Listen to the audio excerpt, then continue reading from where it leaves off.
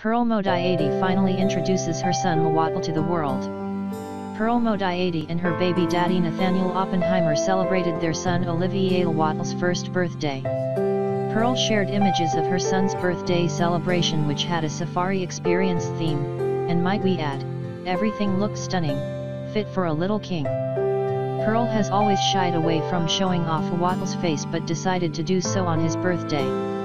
On the day of the celebrations, Pearl posted pics of her and baby daddy with their son's face turned away.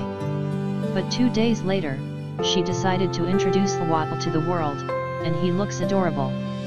Attending the party were Denise Zimba, Lorna Maseko, and Thomas Msengana. She and baby daddy Nathaniel are CO parenting goals as they threw their son an epic celebration.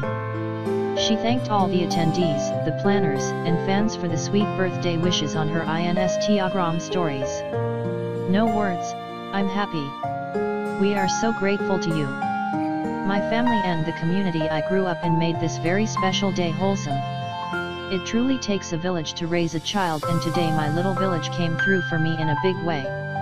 My sisters Dombuza and Thibaut did the decor and entertainment, my uncle did the slaughtering, dad spoke to the ancestors, my friend Nambuso took on the role of photographer and nanny, cousins and aunts took care of catering and Umqombothi, a family friend chef Zondi baked the birthday cake and parents brought the kids out to celebrate Lewatle with baby daddy and I, just perfect. She also thanked her son, telling him that they love him, mom and dad love you very much. Happy birthday baby and thank you for giving us the most fulfilling year of our lives. On her social media stories, Pearl noticed how some fans were taken aback by the time she did radio when she shared a picture with Thomas Msengana. She told her fans that the chapter has been closed for now. She had a terrible experience. Brought to you by 24-7's SA News.